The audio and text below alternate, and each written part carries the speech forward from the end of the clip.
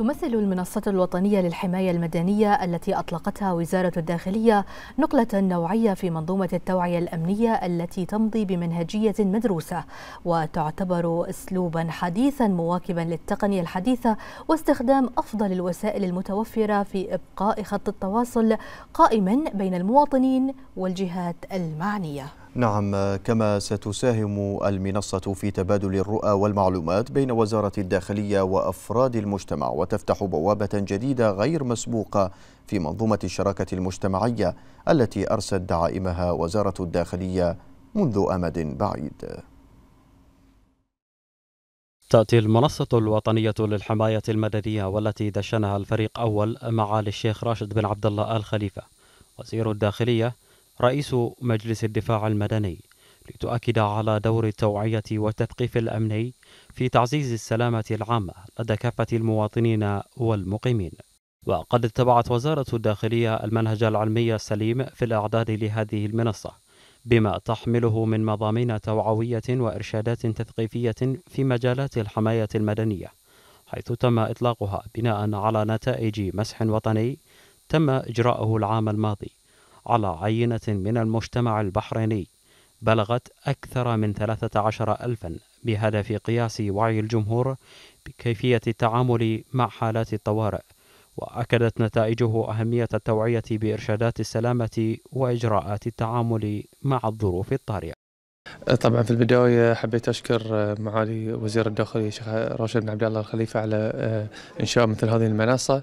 طبعا حبيت أنا في البداية نأكد على جميع المواطنين أن عدم الامتثال لأي إشاعات تصدر إلا مصدرها الرسمي فإحنا ك يعني خارجية نواب نأكد على هذه الأمور أن إحنا لسلامة الجميع أمور مجرد أمنية لسلامة المواطنين. توعية المواطنين في المخاطر والكوارث اللي تمر فهذا شيء مو غريب على معالي وزير الداخلية اللي دائما يكون متواصل مع الجمهور في عدة ملفات وعدة قضايا. فاليوم هذا نحث المواطنين على المتابعة أيضا. في برنامج تواصل نحثهم أيضا في برنامج المرور وأيضا برنامج اللي هو مجتمع واعي. كما أيضا نتمنى تكون هذه دورة سنوية في توعية المواطنين سواء كانت في الأمور الكوارث أو المخاطر أو أيضا في التوعية الصحية وأيضا في التوعية البيئية.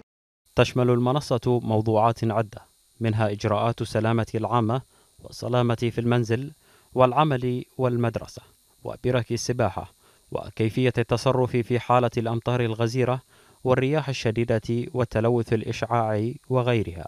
فضلا عن مشروع التطوع في خدمة الدفاع المدني والذي تجاوز عدد المتقدمين له عبر المنصة منذ إطلاقها مساء الجمعة الثالث من نوفمبر عام 2023 وحتى صباح يوم الأحد 300 شخص. هذه المنصة الوطنية لاقت يعني قبولا كبيرا وتجاوبا كبيرا عند المواطنين وكذلك المقيمين. وهذه المنصة الوطنية ستساهم بشكل إيجابي وفعال في رفع وعي المواطنين وكذلك المقيمين. وستعزز هذه المنصة الوطنية في الشراكة المجتمعية. هذا الشيء يخدم المواطن بشكل كبير جدا. نشكرهم كل الشكر على هذه هذه الجهود اللي بذلوها في سبيل خدمة المواطنين.